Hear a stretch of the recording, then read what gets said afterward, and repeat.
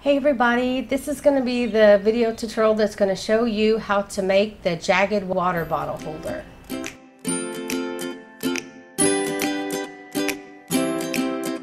And to make this water bottle holder, I use, this is a yarn that I used, it's Alize Cotton Club Gold Cotton.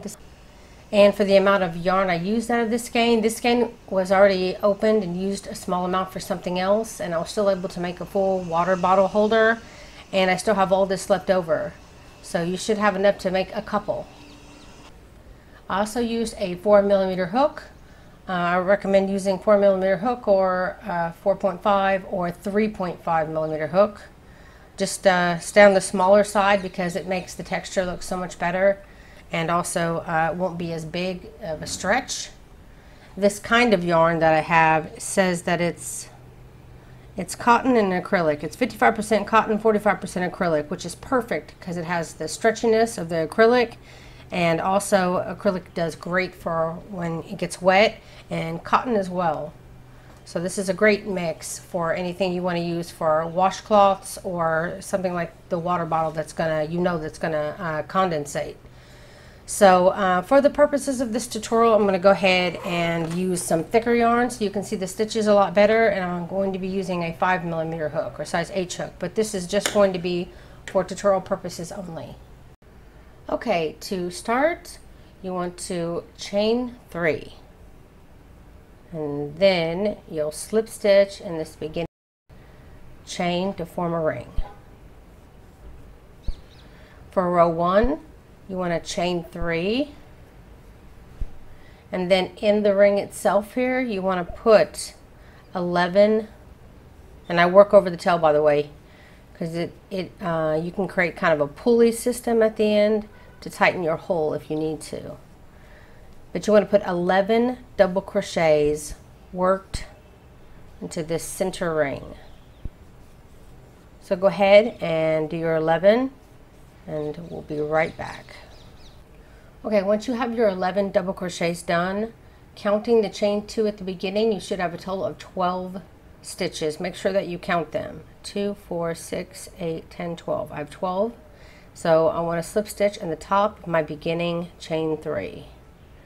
And that will end row, uh, sorry, round 1. So for round 2, you want to chain 2. And in that same stitch here where you slip stitched and end your row, you want to put a double crochet into that same stitch. And now you want to put two double crochets worked in each stitch around. You're going to be doubling your stitches this round. So go ahead and put two double crochets in each stitch all the way around and I will see you when you get to the end. Okay, at the end of round two, you should have 24 stitches. Be sure that you count them. And when you do, you want to slip stitch in the top of the beginning chain two. For round three, you want to chain two, which is going to count as your very first double crochet here. Move to your next stitch and put two double crochets into that next stitch. And then in the next following stitch, you want to put one double crochet and that'll be your repeat for the row. So the next stitch you'll put two double crochets and then the next stitch after that you'll only put one. You'll continue that pattern of putting two double crochets then one double crochet following each stitch all the way around and I'll see you when you get to the end. Okay, I'm coming up to the end of my round and you should end with two double crochets worked in that very last stitch. If not, then you know that you probably went wrong somewhere around here. You want a total of 36 stitches, so make sure you count. 2, 4, 6, 8, 10, 12, 14, 16, 18, 20, 22, 24, 26, 28, 30, 32, 34, 36. So when you have your 36 stitches at the end of round 3, you want to slip stitch in the top of the beginning chain 2 to end your round. For round 4, you want to chain two and you're going to double crochet in the next stitch. See, this is where we slip stitch, begin a row around, and this is our very first, our next stitch, I should say. So the next stitch, you'll put one, and then you'll want to put one in all the stitches around. So last round you had 36 double crochets, so you will have 36 double crochets at the end of round four as well. So go ahead and put one double crochet in all your 36 stitches and I'll see you in a moment. So the end of round four, you want to go ahead and give yourself an extra stitch. So these are my last two stitches. This is 35 and 36 because we did 36 last round and we put one stitch in each stitch around. So this will be 35. Then the very last stitch will be 36. And just to make sure we have enough uh, stitches to do our jagged stitch for the next round, you want to go ahead and put another double crochet in that very last stitch of the round on the end of round four, which will give you 37 stitches. Once you have that those 37 stitches, slip stitch in the beginning stitch and that will end round four. For round five, we're going to be doing our very first round of jagged stitches. Jagged stitch takes two stitches to complete. So go ahead and chain two and we're going to be using these first two double crochets here. You want to yarn over and do like you're making a front post double crochet. You'll grab that very first post up You'll yarn over, pull up a loop, yarn over, pull through only two of the loops. You'll leave that last loop on your hook. And without yarning over, you just want to insert your hook in that very next stitch, pull up a loop. And now you'll work these last three double crochets just like you would, I mean last three loops like a regular double crochet. So you'll yarn over, pull through two, then yarn over, pull through two, and then very important, you want to chain one. So you'll move over to the next two stitches. Remember these two are uh, part of the jagged stitch now. So you'll move in to the next two stitches here and you'll yarn over, pick up the post the very first stitch. Pull up a loop. These first three sets of loops, you'll yarn over, only pull through two. And then without yarning over, you'll just insert your hook into the next stitch, pull up a loop, and then you'll work these three just like you would a regular double crochet. And then chain one. Then to make sure uh, just to give you a little tip as you can see you'll be using every other double crochet this row.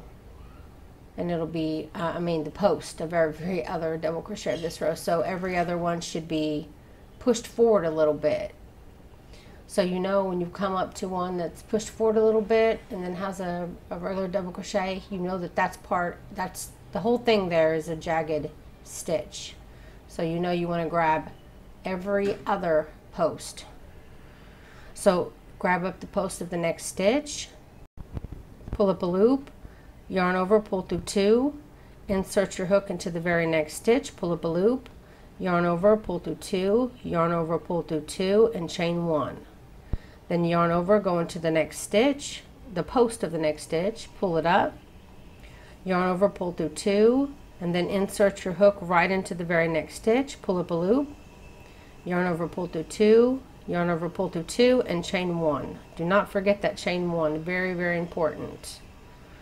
So again, you'll yarn over, pick up the post of the next stitch, only pull through two, insert your hook in the next stitch without yarning over first, pull up a loop, yarn over, pull through two, yarn over, pull through two, and chain one.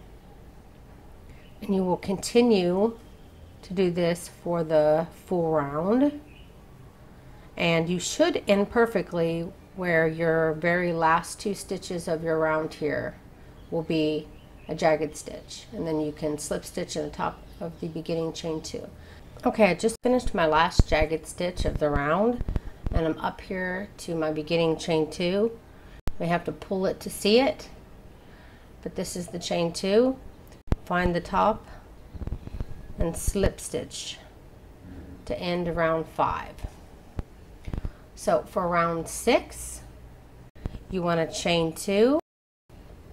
And now we're going to be using the back loop only. So just this back loop not the leaving this front loop right here alone. So you have two loops, I mean two on every single one, looks like a little heart.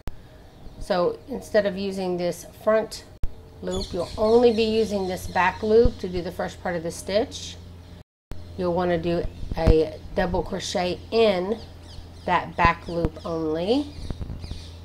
And then the very next one, you'll be using the big old chain one space here. And you want to continue to do this for the round.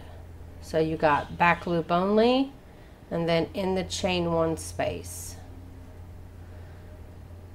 Double crochet in that back loop only and then the chain one space.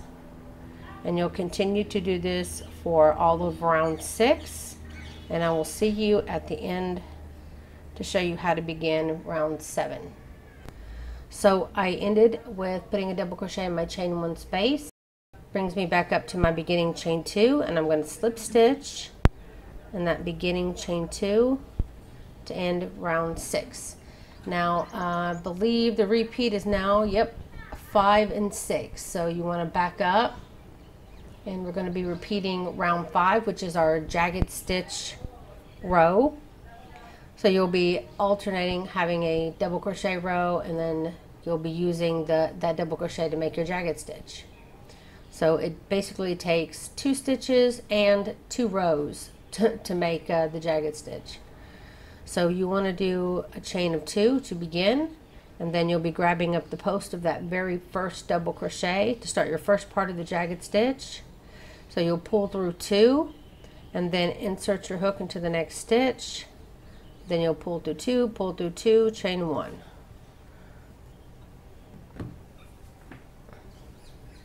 and you'll be continuing that sorry if it got all blurry here you'll be continuing that for the row again going to your next post you'll do your second part of the jagged stitch in the next stitch again as you can see this stitch is being used. So you'll go into your next stitch grab up the post and it'll be like a double crochet but you only work through the first two leaving the last on the hook insert your hook in the next stitch pull up a loop and then just finish your double crochet and chain one.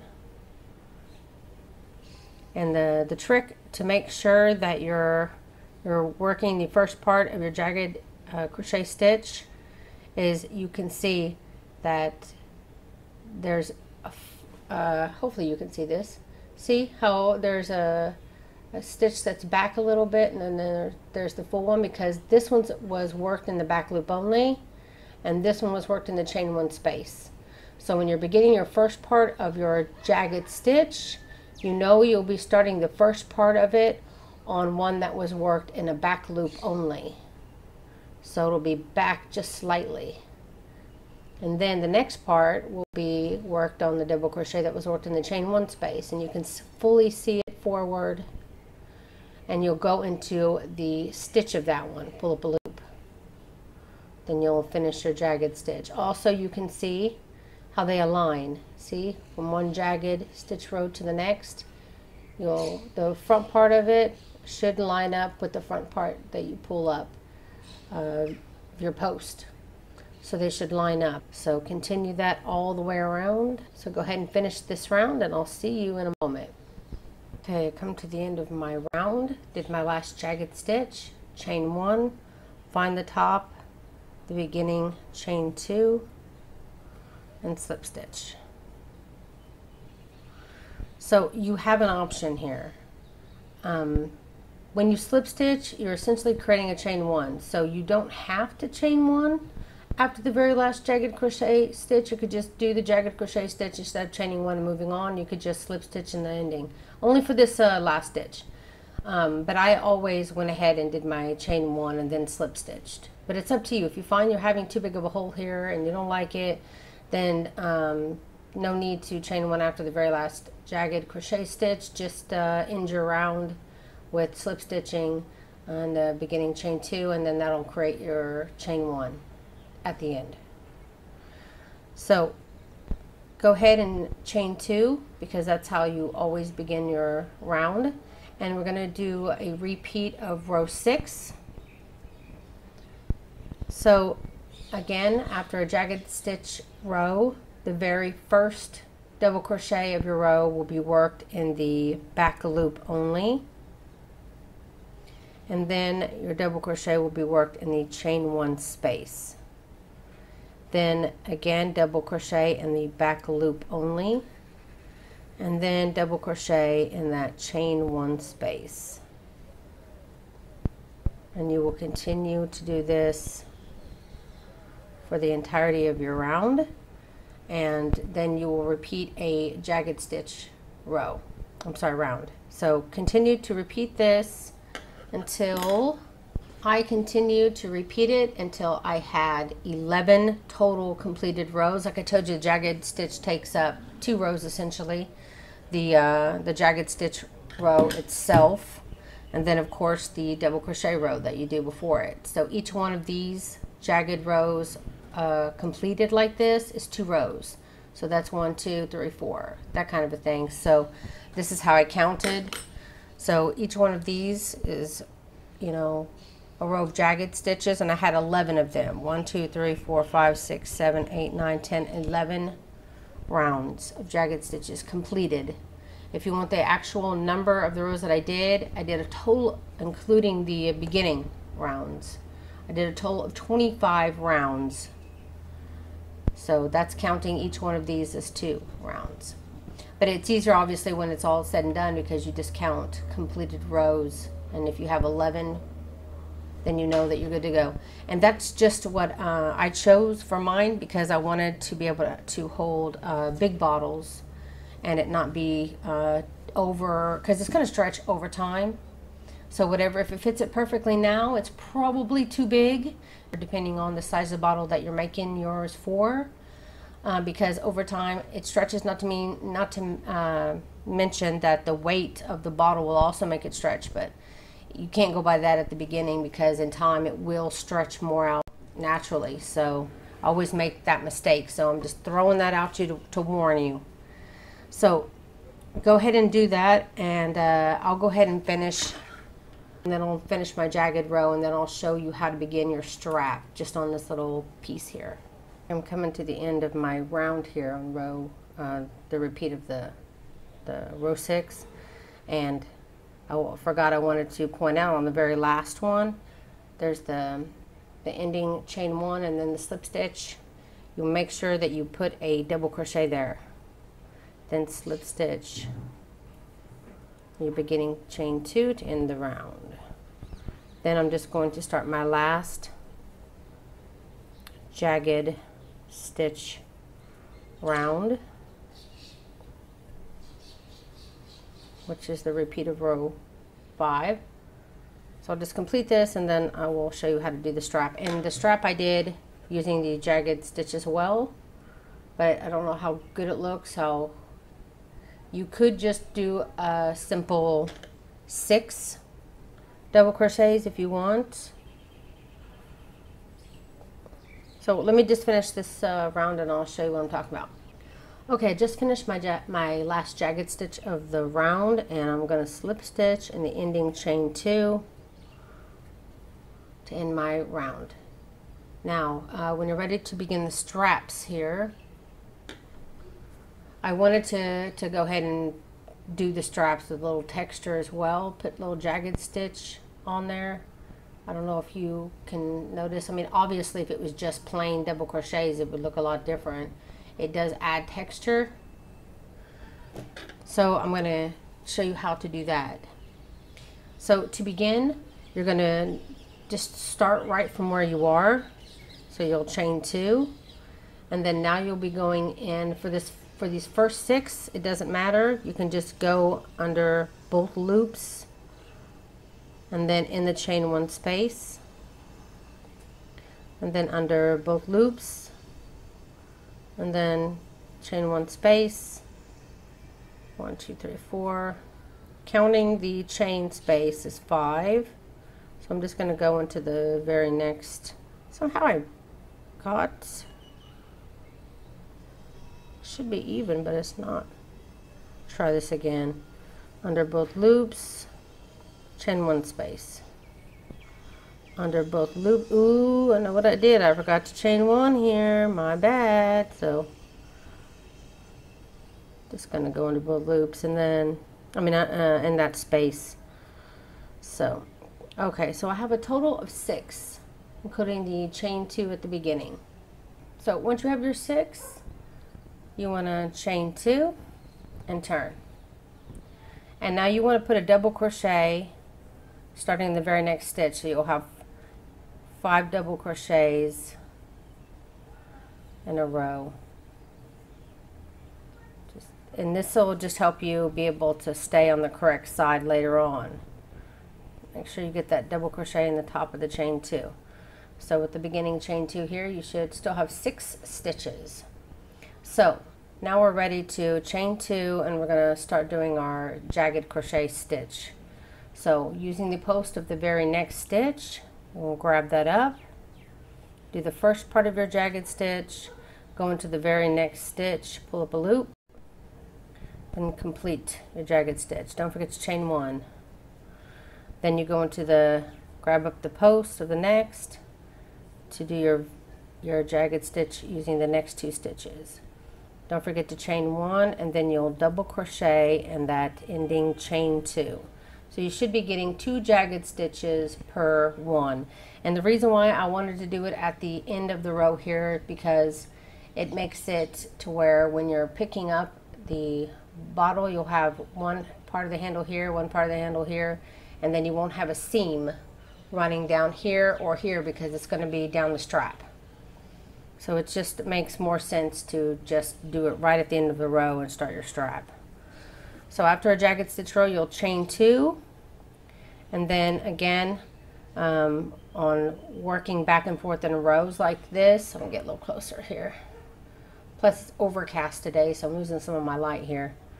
So you'll be doing on the front loop only if you want, though it doesn't look like it's such a big texture difference on the strap. But usually when you work jagged stitch in rows, you'll be using the very, uh, the front loop only. I mean the back, the front, yeah, the front loop only to do the first part uh, of your double crochet. And then you'll go under both loops for the next. So, because it's easier just to grab up that front post. So however you want to do it, just make sure you have five double crochets worked in the next stitches in your beginning chain. So you'll have six stitches. Then when you do, chain, turn, uh, chain two and turn, and then you'll be doing your jagged stitch when you have the right side all facing you. So you'll grab up the post of the very first double crochet to start your jagged stitch. And you'll get those two jagged stitches in there. And then double crochet in the very, and you'll can you got to repeat uh, those rows three and four until uh, I stopped when I had a total of 49 rows and I, I wanted it to be just slightly shorter than my daughter needed it because uh, I know in the future it will stretch even more.